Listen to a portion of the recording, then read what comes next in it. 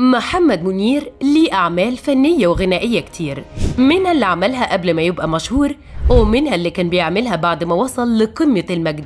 بس منير قلب الدنيا بتوقعاته للفنانين. فيا ترى قال إيه عن محمد فؤاد وكمان إيهاب توفيق ومحمد الحلو؟ وليه وصف أغاني أنغام بإنها مش مناسبة لسنها؟ كل ده بقى وأكتر هنعرفه مع بعض في الفيديو ده. محمد منير كان في فترة من فترات حياته عامل زي المتنبئين للأحداث المقبلة فكان بيقول على اللي هيحصل مع الفنانين قبل حدوثه بسنوات أو شهور. الغريب بقى إن فعلا في توقعات كتير من توقعاته فعلا اتحققت زي إنه قال إن محمد فؤاد مش بيحب المغامرة. مش بس كده ده كمان ما بيعرفش يستمر في الحفاظ على فرص نجاحه. المهم إن منير كمان اتكلم عن إيهاب توفيق اللي عايز يعيش حياته ويخلي نفسه دايما بين الصفايح. مش بس كده الفرص اللي بتجيله بينهيها بالرفض أو الابتعاد عنها. كمان المغنيين من المطربات زي سميرة سعيد ولطيفة وأنغام مسابهمش من توقعاته. قال إنهم مش بيقدموا فن وطرب مش ماشي مع سنهم. والأهم بقى إن الكينج وصل في توقعاته بإن عمرو دياب هو اللي هيبقى الفنان اللي سبق أبناء جيله بسبب موهبته وقدر كمان إنه يخلي الأغاني بتاعته سبب في وصوله للعالمية.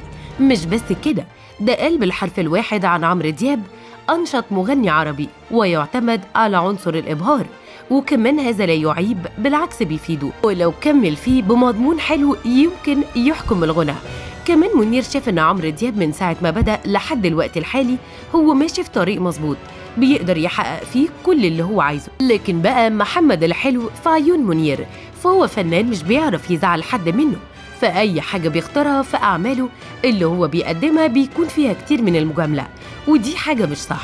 عشان أصلا الفنان لازم يبعد الشغل ودوره اللي بيأديه عن أي حاجة تانية. وكمان ما يربطش الصداقة والعلاقات الأخرى بالشغل وده اللي محمد الحلو دايما بيقع فيه. عشان كده شاف إنه ما قدرش يستمر على النجاح والفوز بكتير من الأعمال اللي بيقدمها لحد الوقت اللي إحنا فيه ده.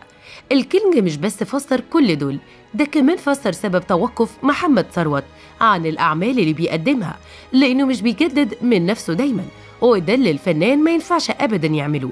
ومش بس كده ده كمان نصحه إنه لازم ما يقفش عند مستوى معين ويعمل مغامرات ويبحث كمان عن حلول جديدة يقدر من خلالها إنه يوصل لنجاح أكبر حتى لو النجاح بتاعه قل في وقت من الأوقات.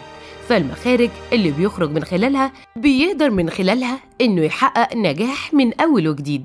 إنتوا كمان شاركونا بقى برأيكم في التعليقات وقولوا لنا يا ترى بقى شايفين إن فعلا قدر يجسد دور المتنبئين فعلا؟ وكلامه عن كل الفنانين ده صح ولا غلط؟